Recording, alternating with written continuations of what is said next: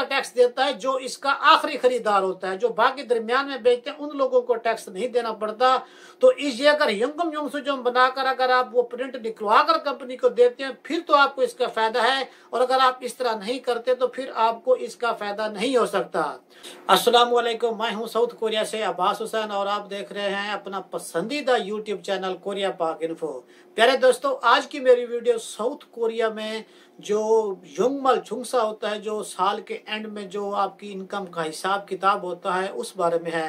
पहले दोस्तों कहते हैं कि ज़िंदगी में पैसा कमाना जितना मुश्किल होता है, उससे ज़्यादा मुश्किल पैसों को बचाना होता है।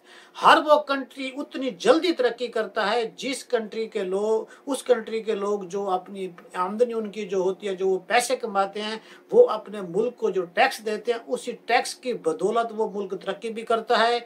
और वो जो कंट्री होता है, वो अपने अपने मुल्क के लोगों को उसी लिहाज से फैसिलिटेट भी करते हैं और उनको सहूलियात भी देते हैं।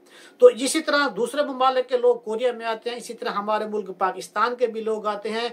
तो जिस तरह ये कोरियन को ये फ़ायदा देते हैं, इसी तरह जो लोग कंपनी में कॉन्ट्रैक्ट करके काम करते हैं तो उन लोगों को भी ये कोरियन गवर्नमेंट और जो कोरिया का टैक्स डिपार्टमेंट है, वो उन लोगों को फ़ायदा देता है। आपकी जो आमदनी होती है सालाना, उस साल की आमदनी में बाज कंपनीज़ कोरिया में ऐसी होती हैं कि जो हर महीने कुछ ना कुछ उसका टैक्स काटता वो काट कर वहाँ जमा कराते रहते हैं और बाज कंपनियाँ ऐसी होती हैं कि वो पूरा साल कुछ नहीं काटती, यानी कि ग्यारह महीने नहीं काटती और बारहवें महीने की जो तनख्वाह होती है, वो पूरी की पूरी उन लोगों को जमा करा देते हैं टैक्स ऑफ़िस में।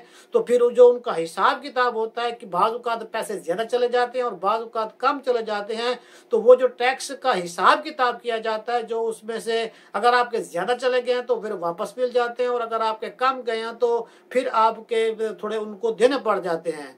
लेकिन जो ये वीडियो बनाने का मकसद है, जो चीज़ें आप लोग इस टैक्स रिटर्न करने के लिए जमा कराएँगे, उसका आपको ये फ़ायदा होगा कि जितने पैसे आप लोगों के जो ज़्यादा कट रहे हैं या आपकी आमदनी ज़्यादा है और वो टैक्स के पैसे आपको ज़्यादा देने पड़ रहे हैं, अगर आप ये चीज़ें साथ देते हैं तो फिर वो आपके पैसे रियायत हो जाते हैं या अगर आपके टैक्स के पैसे कम काट रहे हैं तो फिर आपको उनमें से पैसे वापस भी मिल सकते हैं।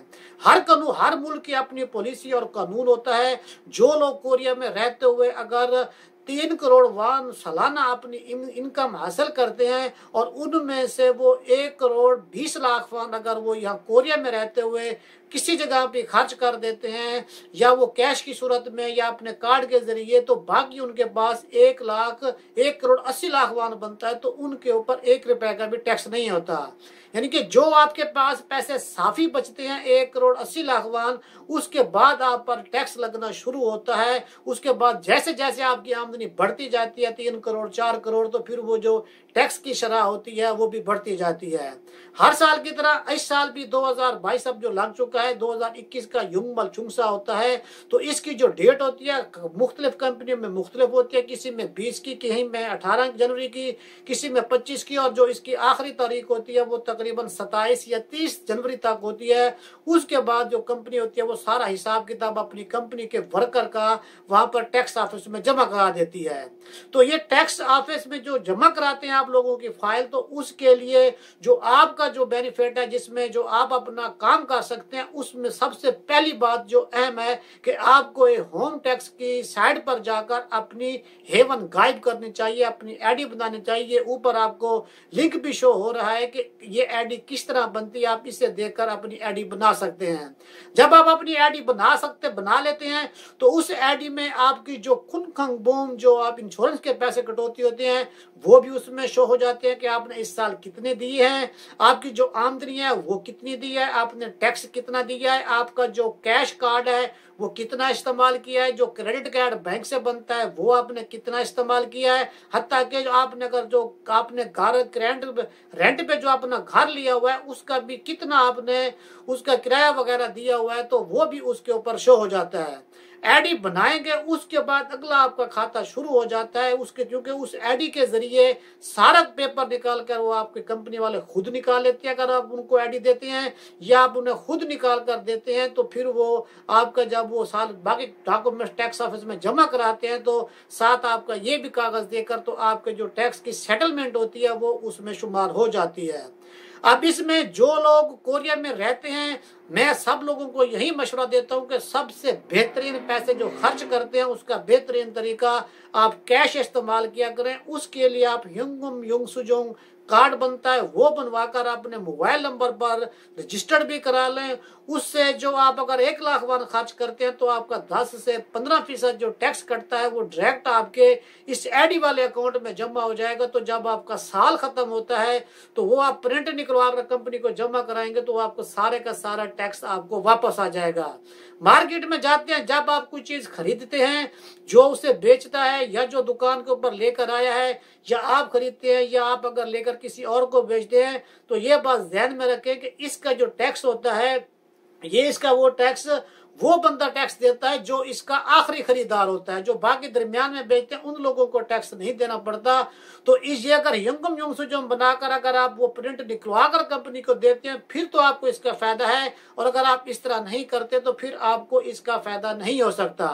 उसके बाद जो लोग अपने, जिनके पास अपने अकाउंट में पैसे हैं, जो अपना कम जो अपनी बैंक से कैश कार्ड इस्तेमाल करते हैं तो वो कैश कार्ड से ही बेहतरीन तरीके, उससे भी पैसे कुछ बचत होते हैं। फिर जो क्रेडिट कार्ड इस्तेमाल करते हैं, जो यानी कि आप बैंक के पैसे इस्तेमाल करके फिर अगली तनख्वाह में जो डेढ़ दिए होते हैं, जो उसमें से काटे जाते हैं, उससे भी कुछ ना कुछ बचते हैं। और जो लोग यहाँ पर फैमिलीज़ वाले हैं और यहाँ कोरिया में रहते हैं तो उन लोगों का जो वो इमिग्रेशन से पेपर बनता है, जिसे वेगु के साशिल छुंग से कहते हैं तो वो भी आप वहाँ से पेपर लेकर उसी पेपर को कंपनी में दें तो आपके जितने भी घर के फर्द हैं, हर घर के फर्द के बदले पंद्रह लाख वाहन पर आप पर टैक्स नहीं होगा। अगर आप चार फर्द हैं तो आपका, अगर तीन करोड़ साठ लाख वाहन सैलरी है तो आपका जो साठ लाख वाहन होगा, पंद्रह लाख वाहन के हिसाब से उन साठ लाख वाहन पे आपका खुद टैक्स आपको देना भी नहीं पड़ेगा। और उसके बाद जो लोग यहाँ पर रहते हैं और जिन लोगों को इस चीज़ का पता है, वो इस तरह अगर आप करते हैं तो आपको इसका ज़्यादा फ़ायदा होता है। और अगर आप इस तरह नहीं करते तो फिर आप पांचवा महीने में जाकर खुद भी आप अप्लाई कर सकते हैं। लेकिन जब आपकी ये कंपनी अप्लाई कर रही है तो आपको चाहिए कि ये जो पेपर होते हैं, नेट से उन कंपनी को बताएँगे एडी देंगे। फकत आपको एक ही इन जो बोनो का, जो फीमेल बोनो का, वो एडी का जो फाइनल में होता है, वही आप अगर वो पुट करते हैं तो उसके ज़रिए सारे आपके जो डॉक्यूमेंट्स होते हैं, वो शो हो जाते हैं।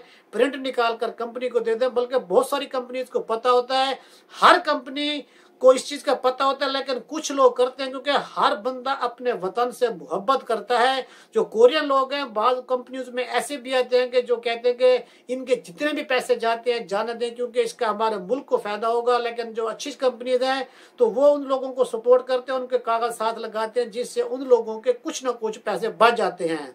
तो लिहाजा आपको भी अपना भी चार पाँच दस दिन रहते हैं, इसमें अपने जो पेपर हैं, वो आप एडी वगैरह से डाउनलोड करके वहाँ कंपनी को दें बल्कि कंपनी को पता है और आपको ये लाजमी हिसाब करना चाहिए। बाजूकात ज़्यादा भी चले जाते हैं और बाजूकात कम भी आ जाते हैं। तो इस लिहाज से आप लोगों को ये फ़ायदा हो सकता है। मैंने टैक्स के लिहाज से काफ़ी सारी वीडियो बनाई हैं, जो बाकी टैक्स हैं, वो दूसरे किस्म के टैक्स हैं, और ये जो युनमल चुंगसन होता है, जिससे सालाना टैक्स की सेटलमेंटल होती है तो ये इस हवाले से आपको लाजमी या अपना आईडी बनाकर इसके आपको लाजमी अप्लाई करना चाहिए, क्योंकि जो आप हिसाब करते हैं, उस हिसाब से वो आपके पैसे आपको वापस मिल सकते हैं। अगर आपको ये मालूम अच्छी लगी है तो अपने दोस्तों के साथ लाजमी शेयर करें। दुआओं में याद रखिएगा। असलम